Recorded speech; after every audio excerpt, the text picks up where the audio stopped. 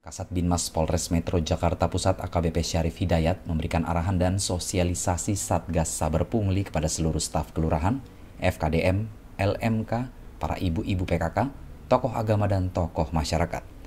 Gate ini merupakan bentuk sosialisasi dampak dari pungutan liar yang selama ini kerap terjadi dan juga sebagai wujud manfaat pembentukan Satgas Saber Pungli. Dari Jakarta, AKBP Syarif Hidayat Tribrata TV, Salam Tribrata.